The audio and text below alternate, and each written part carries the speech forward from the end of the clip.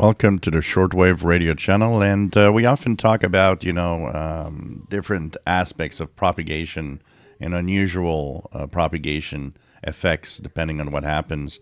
So I showed you the video that a lot of people loved about my um, SDR being on during the eclipse and showing the peaks on the medium wave band that uh, have shifted and all the stations that came in as the eclipse progressed and then fade away again. Well, there's the interesting article in Space Weather where they talk about uh, some of the um, HamSCI testing that they did with amateur radio. And it was found that the solar eclipse Doppler shifted the signal of WWV in Fort Collins, Colorado.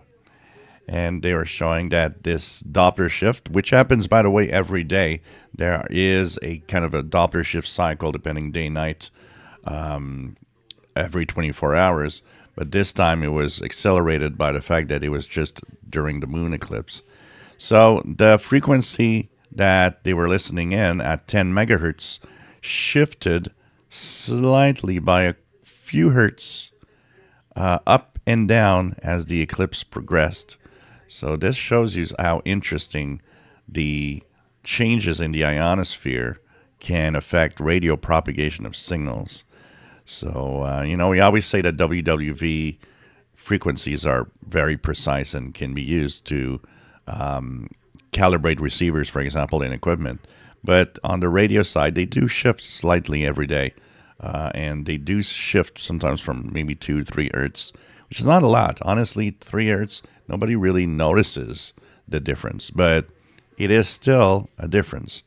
And for very ac- accurate equipment, sometimes that could be enough to be a problem. So, uh, pretty cool. Uh, it was very, very interesting to see this. Uh, one of the results of the HAMSCI science experiments that went on during solar eclipse.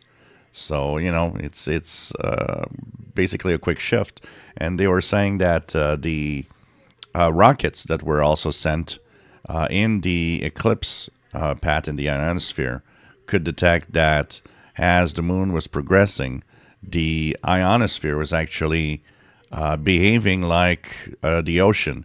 There were waves created within the ionosphere that could be detected with very sensitive equipment. So, pretty amazing, pretty cool when you think about it.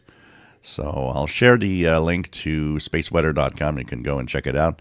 And spaceweather.com is also a great, great place for any um, radio related and, and solar activity related information. If you enjoy my videos, please subscribe, give us thumbs up. Thank you for watching.